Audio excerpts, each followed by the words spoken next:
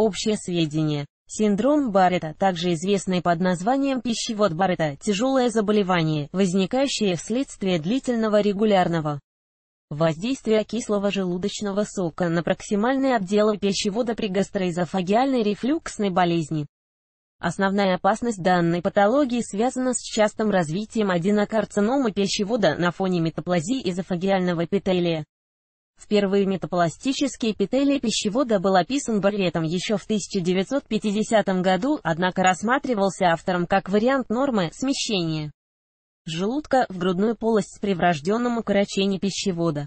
Семь лет исследований в гастроэнтерологии понадобились Баррету для установления того факта, что метаполизированный эпителий, содержащий бокаловидные клетки, является патологическим предраковым состоянием.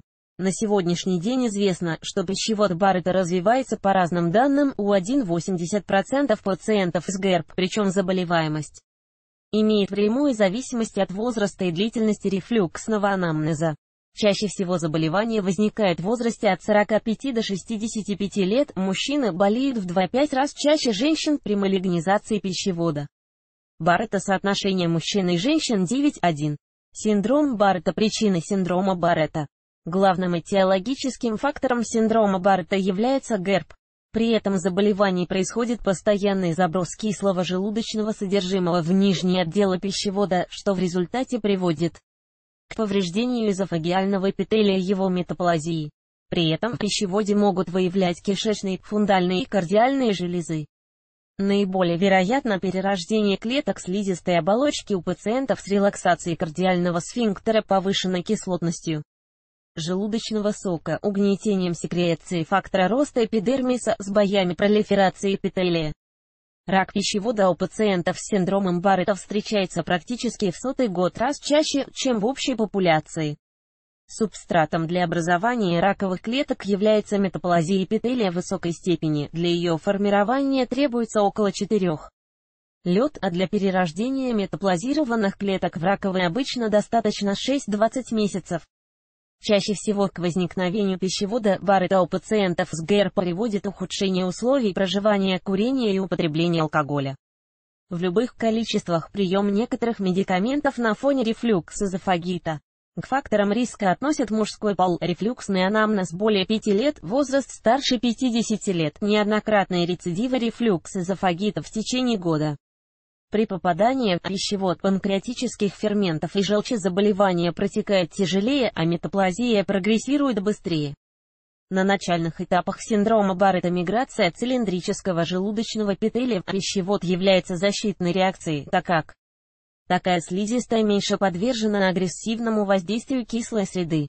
В норме цилиндрический эпителий может мигрировать за пределы Z-линии, граница между пищеводом и желудком, в рамках 2 см, а вот обнаружение метаплазии проксимальнее 2,5 см от кардиального сфинктера после нескольких биопсий позволяет констатировать наличие у пациента синдрома Баррета.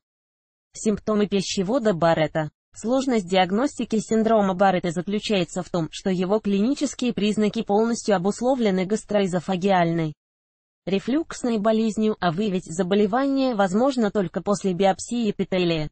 Наиболее частой жалобой ее предъявляют три четверти пациентов, является изжога, возникающая из-за длительного воздействия кислой среды желудка на слизистую оболочку пищевода.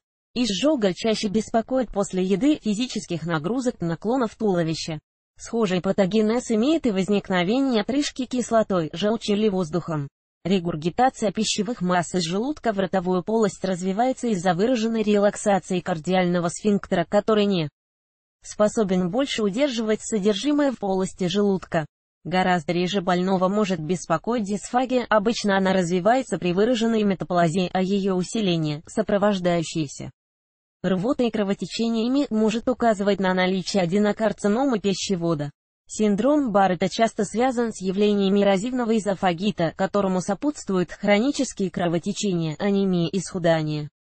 Кроме того, такие симптомы, как дисфагия, кровотечение, анемия и кахексия обычно указывают на рак пищевода. Диагностика синдрома Баррета. При появлении первых признаков ГЭРБ необходимо обратиться к гастроэнтерологу. Золотым стандартом диагностики рефлюкс эзофагита является эзофагогастроскопия с эндоскопической биопсией очагов измененного эпителия. Во время эзофагоскопии метаполозированные участки слизистой оболочки визуализируются в виде языков гиперемии, распространяющихся от Z-линии в проксимальном направлении более чем на 2,5 см. Для точной диагностики необходимо осуществить биопсию из четырех патологических участков, провести хромоскопию пищевода и желудка. Для дифференциации патологии и выявления осложнений также выполняет рентгенографию пищевода, гастрокардиомониторинг, импедансометрию, ЖКТ изофагиальную манометрию, внутрипищеводную РН-метрию. Анализ кала на скрытую кровь позволяет выявить внутренние кровотечения из верхних отделов пищеварительной трубки. Морфологическое исследование биоптатов при синдроме Баррета обычно выявляет элементы желудочного эпителия в слизистой оболочке пищевода. Цилиндрические эпителиальные клетки, фундальные кардиальные кишечные железы. Учитывая наследственную предрасположенность к синдрому Баррета и аденокарциноме пищевода, рекомендуется исследование уровня маркеров. Дисплазии пищевода в крови. Отсутствие признаков метаплазии эпителия в биоптатах не позволяет исключить синдром Баррета у пациента. Довольно часто биопсия пораженных участков слизистой оболочки затруднена усиленной перистальтикой пищевода, рефлюксом желудочного содержимого, мелкоочаговым и рассеянным расположением патологических зон.